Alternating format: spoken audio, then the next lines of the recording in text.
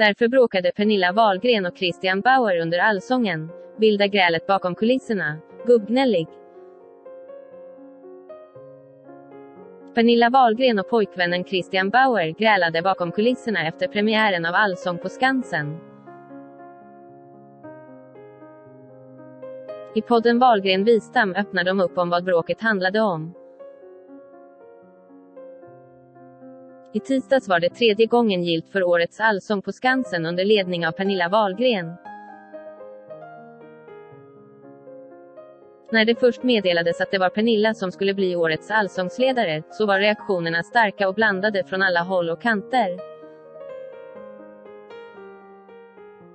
Men efter premiären stod det klart att Pernilla verkligen axlat rollen som allsångsledare, och gör det superbra, åtminstone enligt många.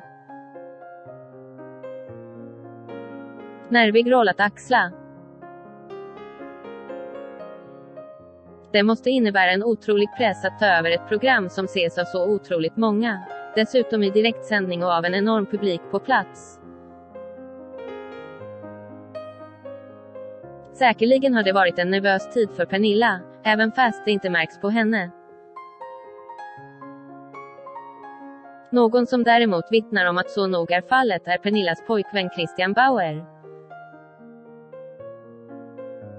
Enligt honom var Pernilla på hugget vid tiden för premiären, vilket urartade i gräl paret emellan.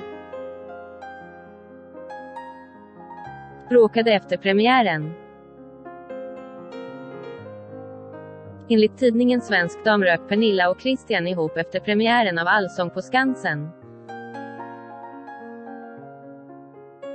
Vilket de båda har pratat ut om i Pernillas och Sofia Wistams podcast.